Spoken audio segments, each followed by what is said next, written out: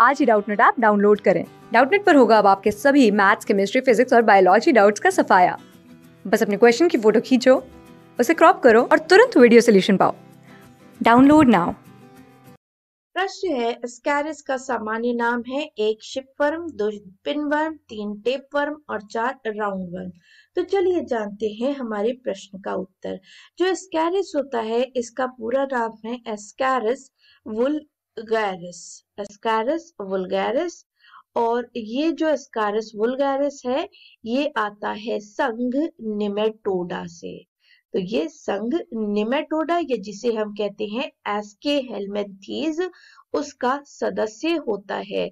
और जो निमेटोडा के सदस्य होते हैं, वह सभी के शरीर जो होते हैं, वह बेलनाकार होते हैं। तो शरीर यहाँ पर बेलनाकार होते हैं और इन बेलनाकार शरीरों के ऊपर जो होती है, वो म्यूकस की एक परत होती है। तो इनके ऊपर म्यूकस की परत पाई जाती है।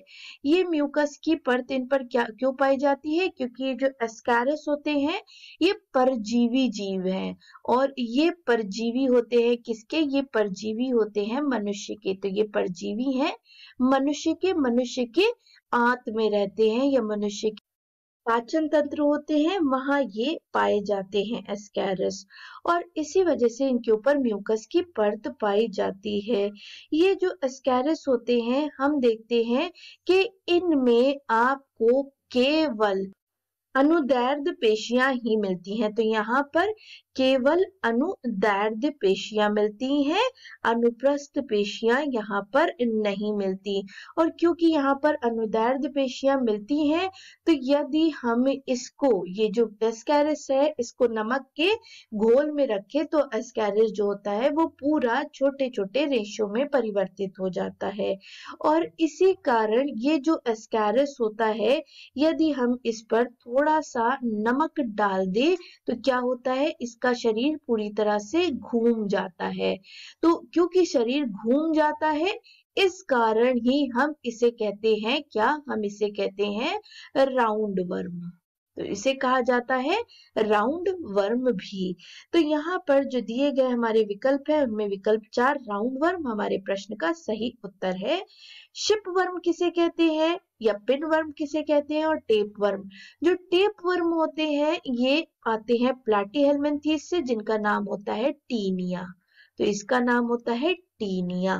तो ये हमारे प्रश्न का गलत विकल्प होगा। जो शिप वर्म होते हैं, ये आपके कुछ जलीय मोलस्क होते हैं, जिन्हें कहा जाता है शिप वर्म। इस कारण ये भी हमारे प्रश्न का गलत विकल्प होगा। जो पिन वर्म होते हैं, उनमें हम देखते हैं कि मुखांग जो होते हैं, वह पिन समान होते हैं। तो उनमें जो मुखांग होते हैं, वह पिन के समान होते हैं। इस कारण उन्हें हम क्या कहते हैं? उन्हें हम पिन वर्म कहते हैं। जैसे कि प्लेनेरिया। तो मुखांग जो होंगे, वह पिन समान होंगे। तो प्लेन एरिया आता है तो ये भी हमारे प्रश्न का गलत विकल्प होगा और विकल्प चार हमारे प्रश्न का सही उत्तर है। आशा करते हैं आपको उत्तर समझ में आया होगा। धन्यवाद। क्लास सिक्स से ट्वेल्थ से लेके NEET I I T JEE Mains और एडवांस के लेवल तक। दस मिलियन से ज़्यादा स्टूडेंट्स का भरोसा। आज ही डाउनलोड करें डाउट नेट आप या व्हाट्सअप कीजिए अपने डाउट्स आठ चार सौ चार सौ चार सौ पर।